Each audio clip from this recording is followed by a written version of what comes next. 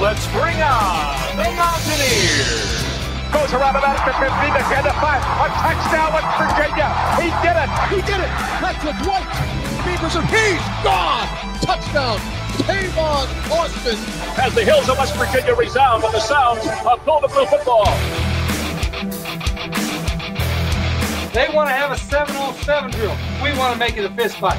Nothing cheap, nothing dirty, but West Virginia football. From the heart, straight it's Mountaineer pride. Once a Mountaineer, always a Mountaineer.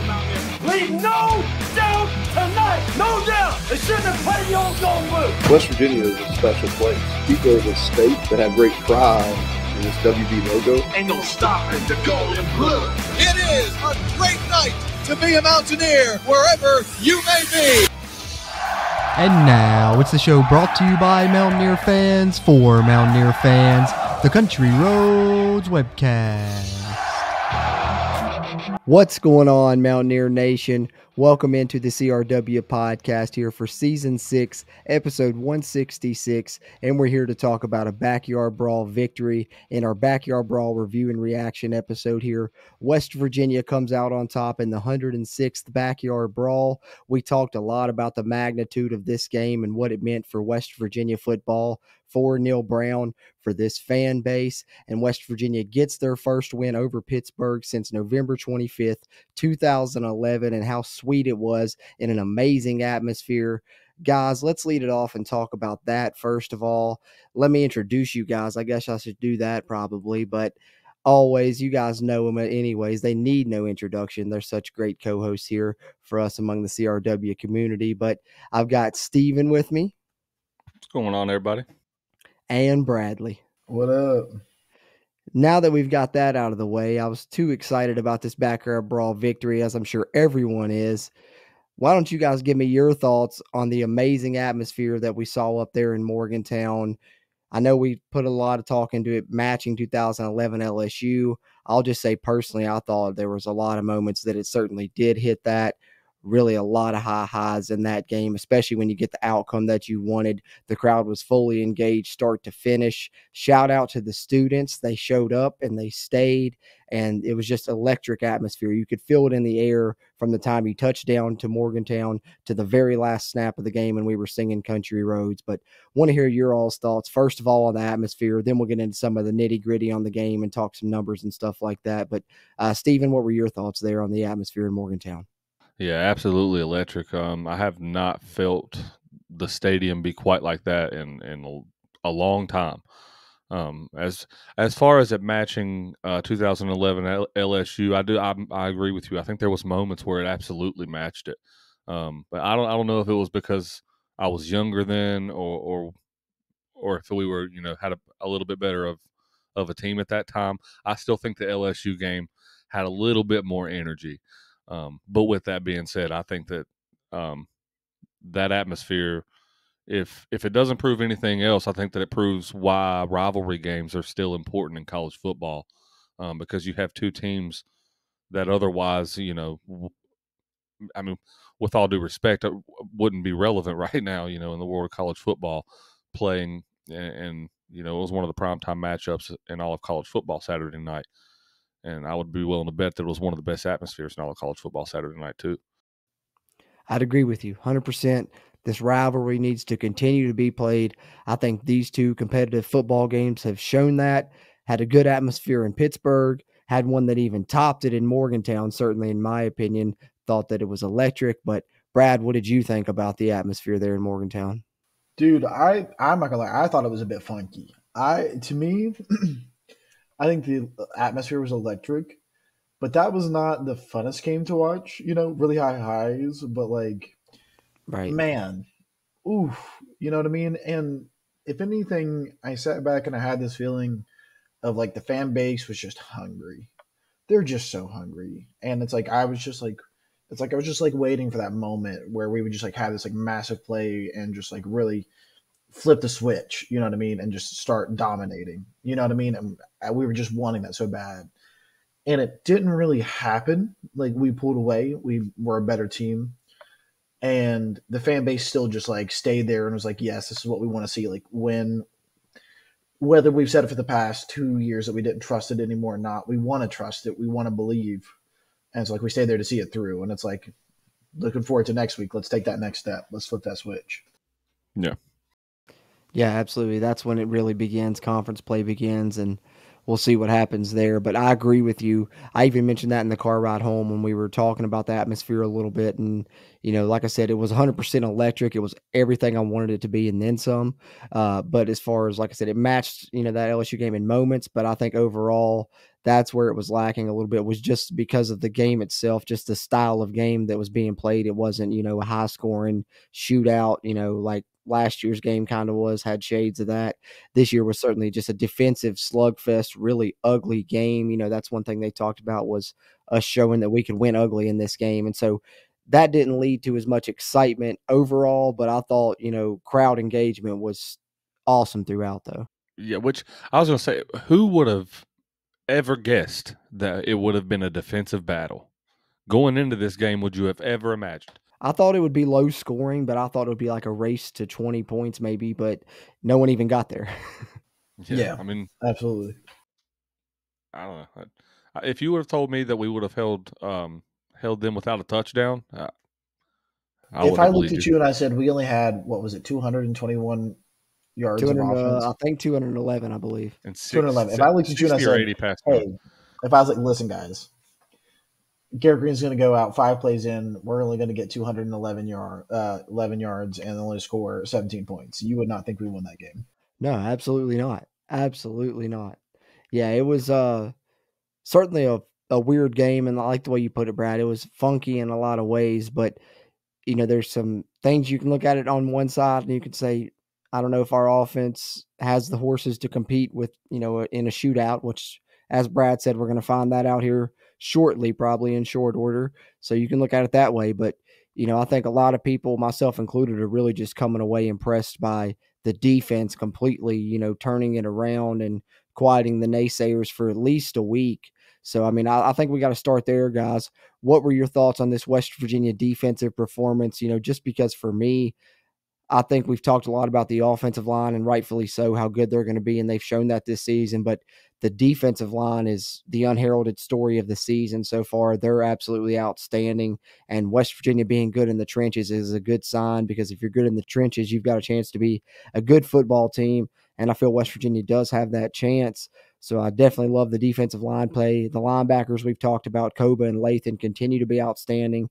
But the story in this game is obviously the secondary. They talked about making some changes in coverage. I think those showed up. You saw guys pressing up when it was, you know, third and five versus being far off the receivers. Malachi Ruffin and Beanie Bishop played all of the snaps at cornerback. Uh, no one else came in there. It was just those two going the whole distance. Liked what I saw from both those guys. Both those guys got an interception. Then, of course, Aubrey Burks getting into the mix. West Virginia with three interceptions in this game. They had four all of last season. They've already surpassed that. Five interceptions total this season. They're top 10 in the country right now in turnovers forced. So I think, you know, that's one thing I mentioned in the lead up to this game is if West Virginia is going to be a bend but break, don't break defense, you know, that has some deficiencies in some areas, specifically in the secondary. A way to make up for that is being opportunistic. And West Virginia showed in this game that they can be, and that was against Power Five competition. So that's what I came away with, probably impressed most by in this game, um, in addition to some other things. But what were your all's thoughts on the defensive play in this game? Uh, what are you thinking, Stephen? Um, I, overall impressed. Uh, you know, I think there'd be, you know, there's a lot of people that are attributing, you know, how good of our performance was to how bad their quarterback was, Jurkovec, um, which you know, a lot of it can be attributed to how bad he is because Because he's a joke of a bitch. he's trash. Uh, yeah, he's he's not very good. Um, but anyway, I, I a lot of what I even seen last week against Duquesne, um, I seen flipped in in this game on Saturday night. I think you know I didn't see nearly as many um, opportunities for receivers um, for Pitt as I did for Duquesne or Penn State. Um, I like that Aubrey Burks kind of kind of had the what I call a bounce back game uh, after giving up that big play at Penn State up there, and had him a nice little uh, interception and almost had him a pick six. Uh, and I, and that's one thing about it too. I think uh, you know these kind of performances only feed um, going into the later weeks and, and, especially going into conference play here in, this week against Texas Tech. Um, it seems like you know from the way Beanie Bishop sounded in his press conference. I don't know if you guys watched that one. It, it's like more of the now they got like this friendly competition on like you know because Beanie was like, all right, you, you got one now. I got to go get me one. And he was like, I'm gonna take mine to the house though. And you know like he didn't he didn't end up taking it back, but it's just that kind of like that attitude and that you know those kinds of things that, that kids on the defense are going to feed off of on each other. And and I'm like you. I think our interior defense up up front, we're stout, man. Like for I think either Frank Cignetti Jr. is the dumbest play caller I've ever seen in my life, accumulated with the worst quarterback I've ever seen in my life. Um, because if I'm a play caller going against West Virginia, you know, after what I've seen in the first two weeks, I'm going to throw it all night. And I think I, it was probably 85%, 90% run for the pit offense, and we just shut them down all night long. Uh, so I, I, will definitely commend them for doing a good job there. West Virginia really showed up on defense. Yeah, that they did. I, I 100% agree. It was a game where, you know, one team was going to impose their will on the other, and uh, West Virginia's defense didn't let the Pitt offense do it. Aside from Pitt's first drive, Pitt on that opening drive ran for 67 yards on 10 carries. Following that, for the remainder of the game, they only ran for 63 yards total after that first drive, in which they ran for 67. So West Virginia's defense really bowed up. Um, like I said, that defensive line and linebacking core really good, I think. And the secondary showed improvements. Hopefully that continues. Going to be tested moving forward. But Bradley, what were your thoughts on the West Virginia defense in the backyard brawl? Yeah, I think that there was a couple really bright, shining people in that game. And I think that Steven mentioned one of them in Beanie Bishop. And I would say that arguably to me, the most impressive person on our defense so far, maybe not the most impressive, but the one that's caught my eye the most has been Trey Lathan. The guy has been playing absolute dynamite at linebacker right now. I, I yeah, remember I went into this game and I was like, I just want to watch when I rewatched the game. I was like, I just want to watch Trey Lathan because I feel like he did a great job. You know what I mean? And the PFF grades hadn't come out yet, and I was like, I want to see, I want to watch Trey Lathan because like I'm hearing great things. Like, I felt like he was all over the place. I just want to watch him, and the way he plays is electric. Like that man is on top of it, and he's so young still, and you can tell he's growing every single day. And you know, I I think I think he's definitely on pace. I'm gonna call it now. He's gonna be a freshman All American guaranteed. Like I, I just you can already tell that he knows what he's doing, and I think just like the more more he learns, the more impressive he's going to be. And I think that um, he's really going to put his stamp on this season as a freshman. Yeah, he's well on his way. Another player that I wanted to mention on our defense that's really been catching my eye this year is Fatorma Mulbah. Yes, I think that that kid has been him and Tomiwa Durojaiye. Both those two big transfers have made an impact. You want to talk about transfers? And and yeah. both of them make an impact in minimal snaps too. They're both playing, you know, under twenty snaps a game, you know, so far each, and both have made big impacts. Mulbah's really been stuffing the run, especially in short yardage situation, and Durge's been making an impact in pass rush. And then look out because here comes Asani Redwood. He played 15 snaps in this game, and they're re- they're really talking him up according to the broadcasters when I rewatched it. Mm-hmm. Yeah, yeah. like he's going to get there one day. He, he's just for if people don't remember, that guy had 20 sacks in his senior year of high school, or maybe I think he had 17 his senior year five his junior year. Either way, it was a ridiculous amount in Georgia, playing in Georgia. Uh, the guy's for real. He is. He it's is. So look out for him. Low level high school football, by the way. Yeah, which he, has gone through an injury. He's changing a lot. You know, been through a lot, but I'm sure he's ready to get out there and prove himself. Yeah, and I think West Virginia's shown they have a deep defensive line. You know, they may have lost some high level players, but they have a lot of really good players on this defensive line. I think you're talking three deep at each position defensive end, defensive tackle, and nose tackle at least. And you can probably throw a couple other in there to where West Virginia may legit have 10 to 12 guys they can rotate in on that defensive line. The only issue comes when you play a team like you're going to play against Texas Tech coming up. And of course, we'll talk more about this later in the week in the Texas Tech preview that can go no huddle and force you to not be able to get some of those subs in and can wear down that defensive line a little bit. But uh, like I said, we'll talk about that more when we come to it. But all in all, looks like West Virginia's defense well on its way to being more improved. Hopefully, the secondary continues to play the way it did, be opportunistic and force turnovers, and West Virginia can add that to their arsenal and be a team that leads the uh, conference in turnovers. And if so, that can be really good for them because it looks like they're going to be strong in the trenches. Talked a little bit about that defensive line. Let's flip it over. Let's talk about the West Virginia offense. And for me, you got to start there with the offensive line.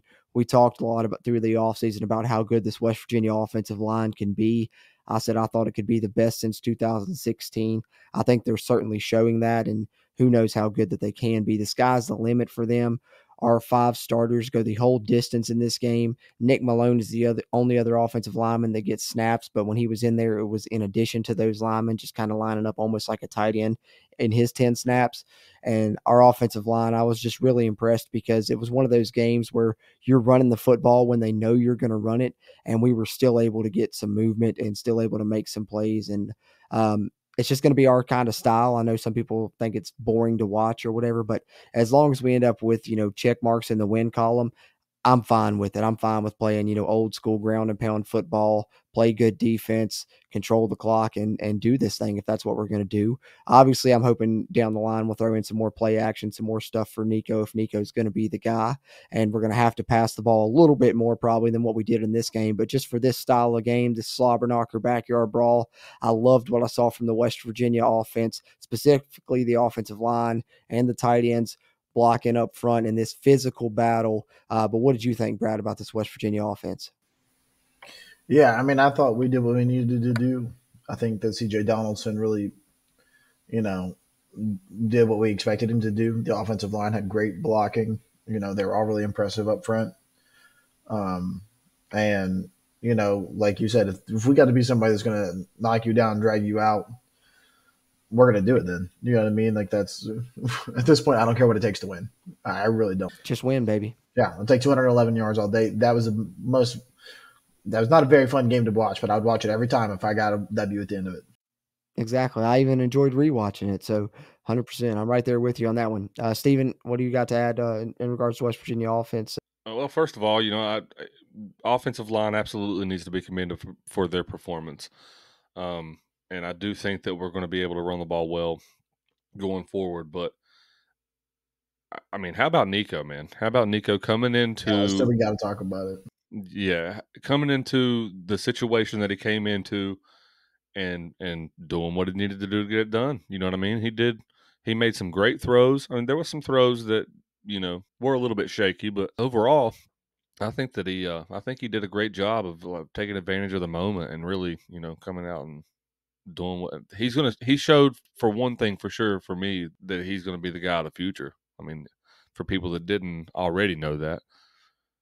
But I mean, I, and I'm going to go ahead and ask it: Is is he the guy of the now? Uh, I was going to get to that, Brad. okay, so before before you got a chance to ask me, I'm going to ask you guys because I already had it planned. if all right, so GG is out for two weeks, two to three weeks. If Nico goes three and zero, oh, is he your new starting quarterback? You don't pull him. Thank you. Yeah, you. Yeah. Thank you. I, I absolutely agree. And this is coming from somebody who's wanted Garrett Greene behind center for the last two years. And I think you can mix in some packages for Garrett Greene when he's healthy, if you'd like, even. But I'm even was in the camp after you know this backyard brawl win that roll with Nico. Now he's got he he looks good.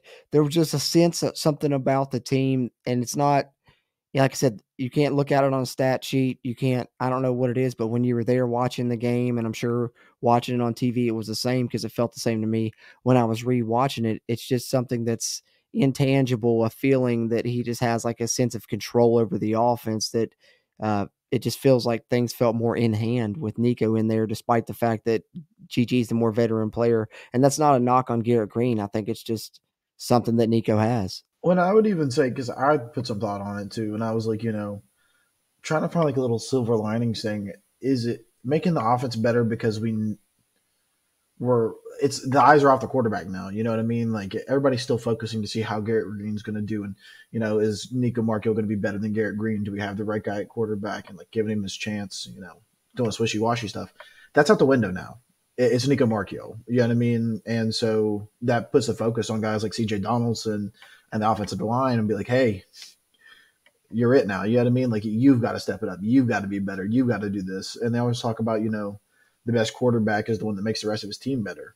You know, and if it's that little silver lining that, you know, now the focus is shifted and we know who's going to have to step up. Maybe those guys are stepping up because CJ Donaldson really impressed me. I mean, he was out Absolutely. there when when Nico Marco fumbled the football and you know first person right there at him was like CJ Donaldson picked him up. He said, "Hey, you can literally see him like you know him he's like, hey, forget about that. We got we got to go." And then next play, you're back out there and you score a touchdown. You know what I mean? I did notice that what you're saying because I thought that was awesome, like leadership and just being a great teammate from CJ. Because literally after the play, he comes, he puts his arm around Nico, and then if you look, he if you watch, he physically like Nico starts to drop his head, and CJ takes his hand and lifts his chin up with his and with his own with CJ's hand, and I was like, that's awesome. dude. And that's like that's it right there. I Yeah. got me emotional just thinking about it. Yep, yep.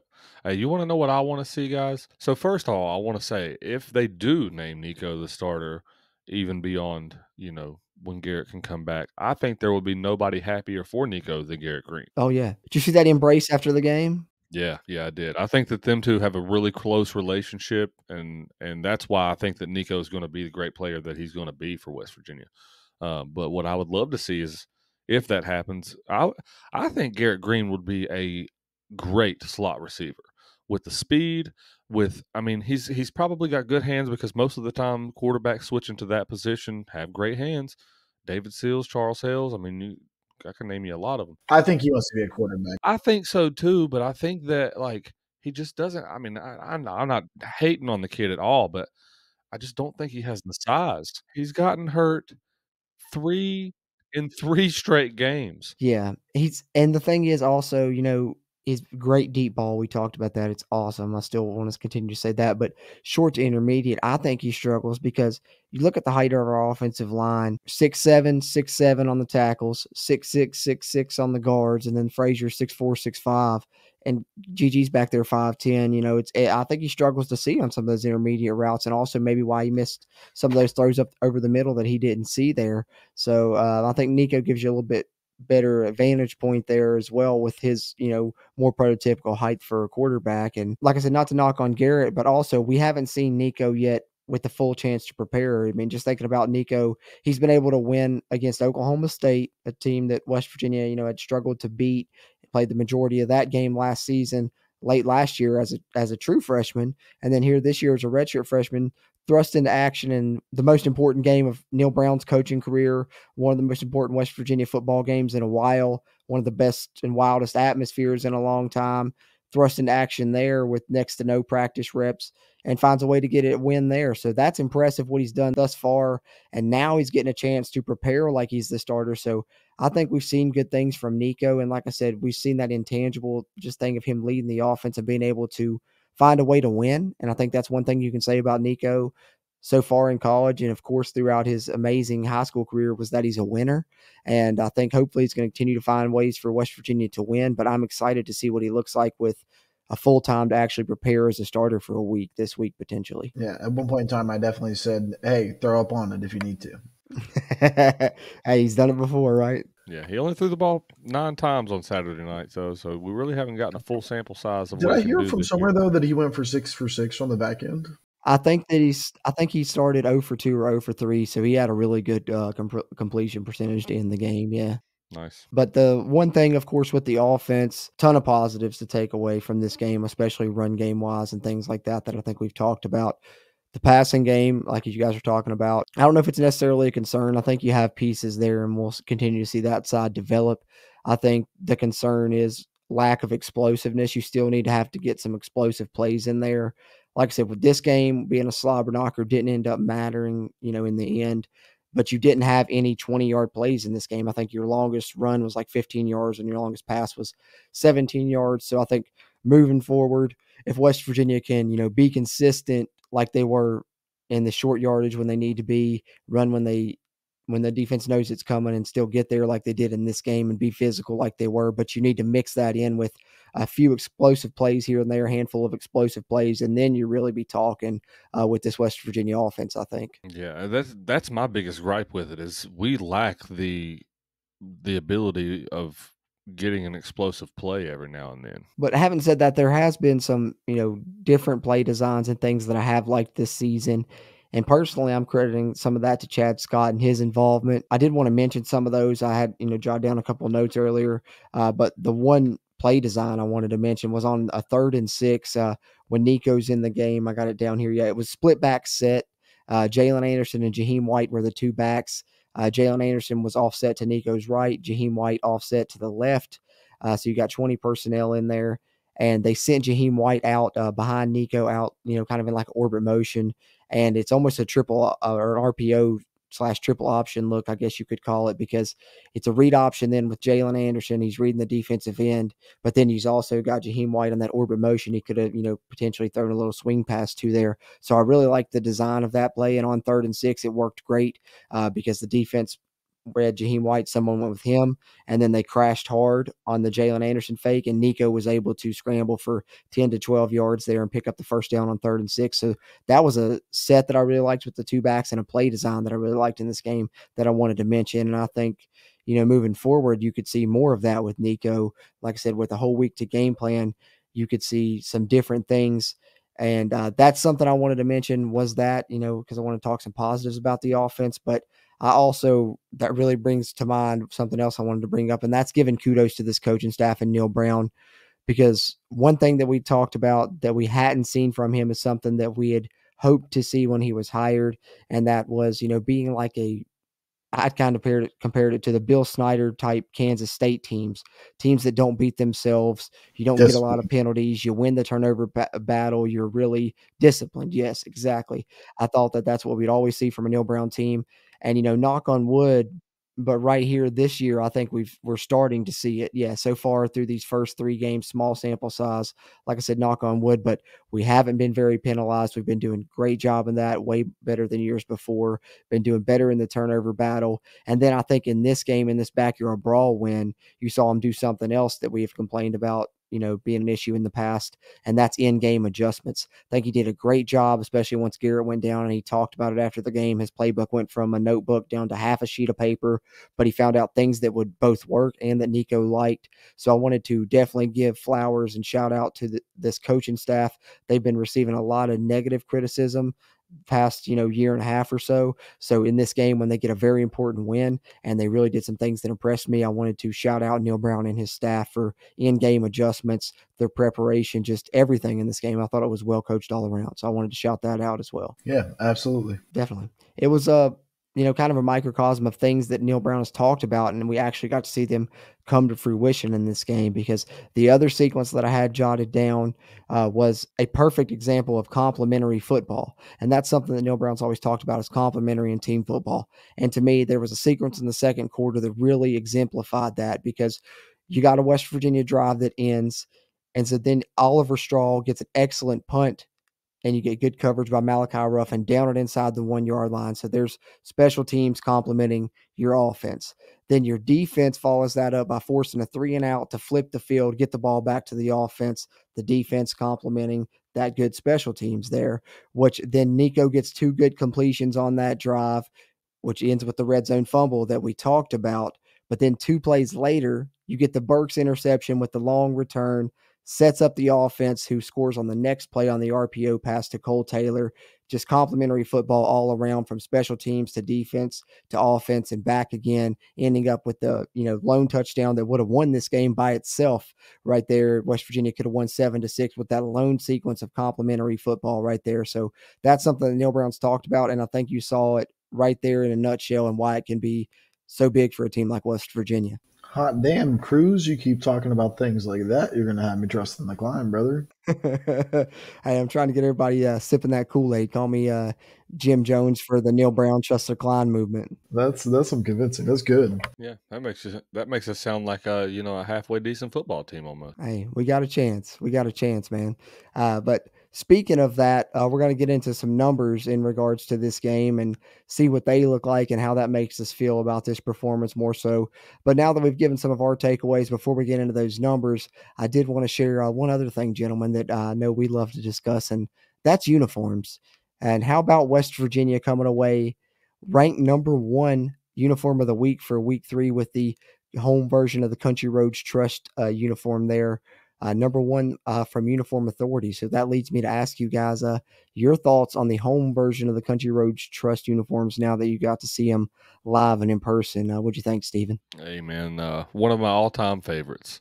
Uh, I absolutely love these. I, I think I told you earlier. I, I don't know if I choose them as our primaries because I I think that they they make a really good alternate jersey. I, I love them too. I love the stripes on the helmet. I don't know if I'd want the stripes all the time, but I would love having it as an option, you know, for an alternate, like you said. However, I would love having stripes on the pants all the time, even if it's just, even if it's not that double stripe and just a single stripe.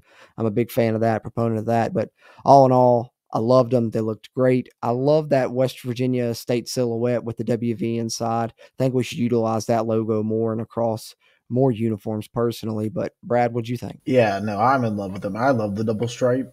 I, am a huge fan of the double stripe. Like the actual road look, I think that it's just, I don't know. I, I think it's identity building. I think it's, I don't know. It just catches my eye, and I'm a big fan of it. So yeah, I thought these were spicy. Agreed. As did a lot of social media platforms. West Virginia was ranked one or two across most of them. You see their uniform authority ranking them one, and then Uni Swag ranking the Mountaineers number two. There you see another picture of the jerseys there. That one coming on Aubrey Burks return, but wanted to uh, cover those a little bit as West Virginia got a chance to debut the home version of the Country Roads uniforms. But be sure to let us know your all's thoughts down in the comments if you're watching on YouTube, whether you're tuned in on the Country Roads webcast YouTube or the WV Sports channel, as you can find us on the web at WVSportsNow.com, where you'll find all kinds of great Mountaineer content and either one of those video versions you're tuned into, we'll ask that you please hit the like button give us a thumbs up on this video. Really helps its performance and future videos performances. And if you're a West Virginia fan, be sure to hit the subscribe button. Helps us,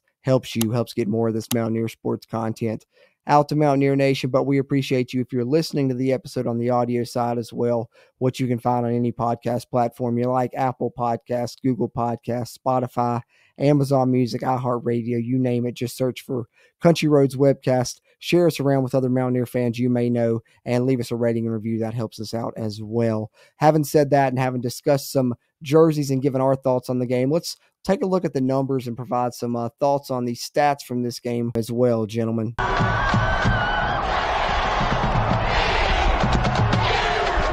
All right, let's lead it off here with the team stats. As you can see in the scoring summary, West Virginia really dominated this game after the first quarter, outscoring Pitt 17 to 3 from that point eh, to end up with our final score of 17 to 6, of course, moving West Virginia to 2 and 1 overall in the 2023 season. First downs, West Virginia outgains Pitt 14 to 12. Third down efficiency, very close, 4 of 13 for Pitt, 4 of 12 for West Virginia. Fourth downs, West Virginia held Pitt to 0 of 2 on fourth down conversions. Very big there, almost like two more turnovers. West Virginia 1 of 3 themselves on fourth downs. Total yards completely even, one of the lowest total yardage you'll see there across both teams. 211 each. Passing yardage, neither team hitting 100 passing yards. So, really looking like an old school stat line here 81 passing yards for Pitt versus 60 for West Virginia. But the Mountaineers only attempted 11 passes. Pitt threw the ball 20 times. Pitt threw three interceptions, West Virginia with zero. Rushing the football, West Virginia managed to run for over 150 yards on the Panthers, totaling 151 on the night versus 130 for Pitt. But like I said, 67 of those coming on their first drive. So West Virginia doing a great job following that. Uh, penalties, we talked about West Virginia doing a better job in that area this season. That continued in this game, only being penalized four times, and where Pitt was penalized nine times. West Virginia winning the turnover battle there, plus two three uh, turnovers for the Panthers versus only one for the Mountaineers. And West Virginia outpossesses Pitt 33 to 26 in time of possession minutes there as well. Um, any thoughts here on the team stats, uh, gentlemen? What are you thinking there, Stephen? Anything you want to toss in there? Yeah, like you said, super old school stat line, man. It's uh, I can't remember the last time neither team in a football game didn't go for over 100 passing yards. So that's a little weird, you know. Yeah, very, very interesting uh, for sure. Uh, Brad, what about you? Anything you got on team stats? Yeah, I got two little little fun ones. Uh, the first one is going to be time of possession. I remember at the halftime we were actually down in time of possession, and going back to what you were saying about coaches making changes and like doing things that have not really been their forte. I think that's one of those things, like those halftime changes to be like, hey, we need to possess the ball more. Like we got to sure things up. I think that's also another metric where you can sit there and point to it a little bit. And then I saw one the other day, or um, one that I wanted to bring up was that Pitt's punter averaged. Do you guys, any one of you know what the, he averaged per punt over his four punts? No, I didn't see this. 51 yards. Wow. Dude was absolutely stroking them balls. Definitely. Definitely. That's impressive. Very impressive. Yeah, I not that that really brings anything to this context, but just that's a crazy statistic that I had to bring up. No, and I like I like your point there on the time of possession as well. I think it goes right hand in hand there with the coaches making adjustments. But you know, then to go back to what Steven said, the standout to me looking at this is I don't know. I wanted to research it and go back and see if I could find it, but just didn't have the time or you know wanted to put the, forth the effort. I guess you could say, but. uh 51 rush attempts versus 11 passes for West Virginia. Got to go way, way back since the last time they ran it 40 more times than they passed it. Mm-hmm. But let's take a look at the individual stats for the Mountaineers in this one now as well. See how they came up with some of those team numbers. Passing wise, we know Nicco was the guy following Garrett Greene's early exit after that first drive for the Mountaineers. Talked about him really improving his completion percentage later in the game, started 0 of 2 or 0 of 3, and was really hot from then on. And when he did get a chance to throw the ball, which a couple of times he really threw some darts on RPO passes over the middle, uh, which he pulled the, out of the mesh read and uh, hit some end cut routes, one to Hudson Clement and uh, one to Devin Carter that really stuck out to me. Finished six of nine for 60 yards and a touchdown. Uh, rushing statistics course, this is where the Mountaineers really leaned on the offensive line, leaned on their run game and their workhorse, CJ Donaldson, 18 carries, 102 yards and a touchdown, two backyard brawl appearances for CJ Donaldson, two 100 yard plus rushing games. Jaylen Anderson, 19 carries, 62 yards, thought he played really well in this game also. Garrett Greene, one carry, one yard. Unfortunately, I believe that was where the injury occurred for Garrett. Um, then you get Rodney Gallagher, also one carry, one yard. Uh, Nicco's uh, had a couple rushing attempts that did net positive yardage, but with the sacks, uh, nine carries, negative five, unfortunately, is the ultimate outcome. Uh, receiving wise, Kole Taylor led the Mountaineers in receptions and in yards and was the only touchdown scorer for the Mountaineers as a receiver there. I thought he really was impressive in some of the things he did in the way West Virginia used him. I think his role is going to continue to grow. Three catches, 21 yards, and a touchdown. A catch apiece for Devin Carter and Preston Fox. And then uh, Hudson Clement added another one for 10 yards there. So, what are your all's thoughts on the West Virginia individual stats? Uh, Brad, anything stand out there to you? No, I, I would say if anything that what's coming to me is just thinking about you know, our wide receivers and their catching stats and just thinking about how important every single one of those catches was because there's just a few of them. That's true. Great point. I mean, yeah, look at it. It's one for 10, one for 14, one for 15, and three for 21. And then you add the touchdown to that. And I thought Kole Taylor was the most impressive one we've seen all night. I love the utilization of the tight end. Well, and it's it's the guys that you were counting on because that's your three starting receivers and your starting tight end. You're your only pass catchers on the night, so at least it's the guys that you thought you could count on. You were able to when you needed to. True that. Anybody got anything else here, offensive statistics wise, individually? Um, I will admit that Jaylen Anderson is looking really good. Yes, he is. Yes, he is. I think, but you know, everybody talks about CJ, but I, I think you're right about that. I think Jaylen does a great job of filling. I don't want to even call it a backup role, but you know, calling that filling that co-star role. Yeah, he, he he does have good he does have a good good ability, and I almost would call them co-starters. And uh, he had, he had one in this game where um, he read it right, he hit the hole right, but the wide receiver, if he'd held his block just half a second longer, probably would have been a long touchdown run. We've seen him break those late last season. I think he's going to do it again here, hopefully sooner rather than later uh, for Jaylen. But um, definitely, definitely like what I see from him. Jordan's trying to make Jaylen Anderson co-starting happen now. I've, I'm I'm slightly sliding him up the depth chart now and saying it, listed him as a co-starter, but he was in. I mean, on the, the if I'm not mistaken, the very first play of scrimmage from for West Virginia, CJ was in the backfield, but Jaylen was split out in the slot and came in motion, took a jet sweep handoff with Garrett Greene under center. So technically, they were co-starters for this game. So I can I can I can push that officially now. but uh, that's what we got offensive individual stats. Let's flip it over to the other side. Look at the defensive numbers for West Virginia. We talked about the standout front seven, how great they've been this year, the improvement from the secondary in this game. Let's see how the numbers reflect that. Uh, Trey Lathan, eight total tackles and half of a tackle for a loss. Anthony Wilson, seven total tackles from his safety position. Beanie Bishop, seven tackles and of course the interception. Lee Kpogba continues to be a standout for the Mountaineers, seven tackles for him. So between your two linebackers, Lee Kpogba and Trey Lathan, 15 tackles there. That's awesome. Jared Bartlett, I thought played really well at the bandit position, five tackles for him. We talked about for Fatorma Mulbah, one tackle for a loss and five tackles.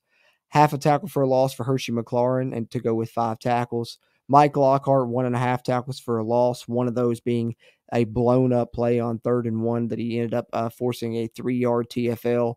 Talked a bit about Tommy. He had three tackles in this game. Tyron Bradley splitting time with uh, Jared Bartlett at that bandit position, had a sack and a TFL. Aubrey Burks with half of a TFL.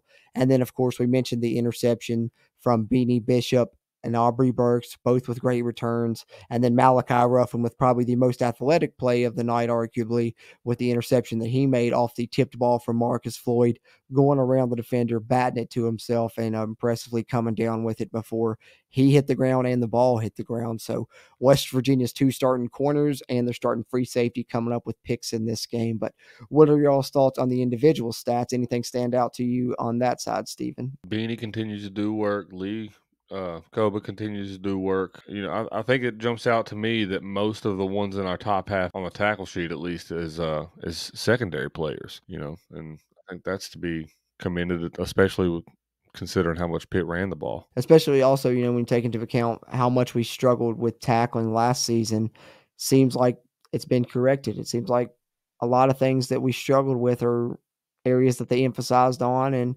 have improved on to this point, I think. So I, I, certainly agree there. Good tackling coming from the back half of that defense for West Virginia. Brad, uh, these defensive statistics, anything stand out and catch your eye there? No, but I did want to shout out Malachi Ruffin and just the consistent improvement he's had. It's it's just been he's been a fun one to watch for a really long time. You know, he went from kind of lame duck out there on an island status to you know really being a pretty good defender, and it's it's been um, I'm excited for that guy. Meteoric rise, you could almost call it. I mean, he's a guy that comes not even as a preferred walk on for West Virginia. He's a guy that shows up at a tryout, you know, back in 2018, I believe it was, and uh, you know, student in West Virginia. They have a tryout. He comes out super athletic, makes the team, and just works his way up from you know scout team to all the way to a contributor on special teams to a scholarship player to where he was playing safety a couple of years ago for West Virginia when they didn't have the bodies, moves the corner last season. West Virginia has to call on him when they have injuries there. He gets picked on initially, then starts to really become a player in that Oklahoma State win. He made big plays at the end of that game. And then this season, you know, you're wondering how much he's going to contribute. He gets beat out in camp by Andrew Wilson Lamp doesn't bat an eye when he's called upon after Wilson Lamp struggles, comes out as a starter in this backyard brawl, performs great, one of the top five highest grades on defense according to PFF for the Mountaineers, and that impressive interception. So you love to see it, and just a heck of a story right there for Malachi Ruffin. So yeah, great to point that out as well, Brad. Uh, but that's what we've got as far as our takeaways and a little bit of discussion of the numbers uh, from this game. But we'd love to hear your all thoughts in regards to this game. Drop your comments in regards to the backyard brawl down below or leave them in the rate review section if you are on the audio side there. But to wrap things up here on season six, episode 166, guys, let's take a look at the scores from the rest of the Big 12 here.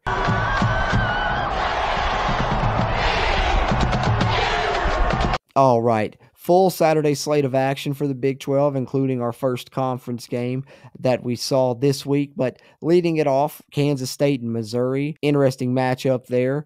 Bit of a rivalry contest taking place at Missouri. And Missouri ultimately comes out on top 30 to 27 on a 61 yard field goal as time expired. Yeah, what a kick. Impressive. Very impressive. You don't see that a lot in the college game.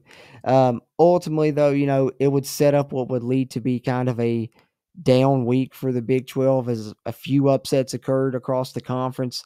for us Mountaineer fans, at least we were, you know, one of the lone bright spots, and it was a happy week for us because the rest of the conference did not walk away as happy, including fans of the Iowa State Cyclones, as unfortunately they hit the road and lose to a group of five team that West Virginia will play here in a couple years as well. The Ohio Bobcats there in Athens, uh, 10 to 7, Ohio beats Iowa State. And I got to shout you out here, Brad. You actually picked this one in our preview show. So uh, you called it. I did, yeah. I, I remember uh, shout out that the people that let me stay at their house over the weekend for the pit game. I had picked Ohio because that's where she went to school at, and I told her that, and she texted me in the middle of the game. and was like, "Ohio won," and I was like, "Hey, there you go." I don't know why, but it just makes me think of uh, Pulp Fiction. I don't know if you remember at the beginning with uh, John Travolta and Samuel Jackson, and they go in and they're talking to the guys, and Samuel Jackson says, "Check out the big brain on Brad." yeah, good stuff there. Good call. Ohio with the upset over the Cyclones. Moving on, Baylor bounces back, although maybe not handling Long Island with as large of a score margin as some may have seen coming, uh, but they do walk away with a 30 to 7 victory over Long Island there at the home game in Waco. Oklahoma continues to look much improved and rather impressive, handling Tulsa there in a road game at Tulsa, 66 to 17. The Sooners come out on the winning end. Dillon Gabriel looking very good for Oklahoma thus far this season at the quarterback position. And then UCF, the new addition to the Big 12 with a big win over Villanova 48 to 14 in a home game there at the Bounce House in Orlando. Their offense continues to thrive. They win this game despite uh, the absence of John Rhys Plumlee at quarterback. The backup steps in and still gets the job done handily for the big victory. And then here we go, guys the, probably the biggest upset of the week, especially just with the margin and of the year so coming. far. yeah, Mm-hmm. probably of the year. And uh, something that I've said here in the past is never bet against Gundy. And boy, did I eat crow on this one because South Alabama goes into Stillwater, handles the Cowboys 33 to 7. unbelievable." Yikes. Yikes. Oklahoma State's been playing three quarterbacks this year, and I think it's safe to say uh, that old adage, you know, if you have multiple quarterbacks, you have none, is proven true with their performance in this game. And then, uh, of course, we got the Mountaineers' upcoming opponent, Texas Tech. They'll be coming into Morgantown this Saturday for the Gold Rush game. But this past week, they were back at home in Lubbock, taking on their FCS opponent, Tarleton State, and they handled them 41 to 3. Then you get another upset, and this time it's one of the Big 12 newcomers getting upset at home, and they were coming off a high beating Pittsburgh, the team that we just beat, and people were talking about how strong their defense looked.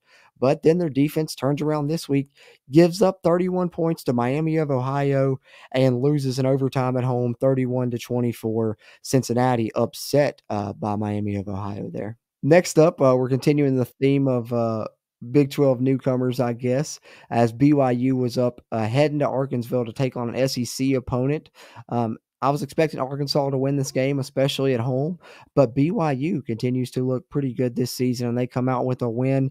They've won some defensive games earlier in the season. This time, they showed they can win a game scored in the 30s as they defeat Arkansas 38 to 31 there in Fayetteville. Good job, BYU. Quarterback still sucks. Slay was uh, trash. And then Texas, uh, coming off the big win against Alabama, comes back home. We're worried about a bit of a hangover, but they end up, you know, not having that hangover happen. Three score win over Wyoming, 31 to 10 for Texas as they continue to roll here in the 2023 season. And then Kansas tough matchup with Nevada proved there for them to head out to the West Coast. They faced some challenges there, but ultimately they were able to score the game winning touchdown late in that game, break the 24 all tie as they win 31 to 24 over Nevada. And then our game of the week this week um, was the first Big 12 conference matchup of the season. So that's why we had it as the game of the week. And it was close for about, you know, two and a half quarters into the third quarter there. But then uh, TCU ultimately flexed their offensive muscles, uh, showed Houston that their defense will continue to struggle, it looks like, uh, this season as they enter the Big 12. And the Houston offense, surprisingly, struggled as well, was not able to keep up with the pace of TCU, losing at home 36 to 13 as TCU takes down uh, the Fighting Dana Holgorsens in what was our Week Three game of the week here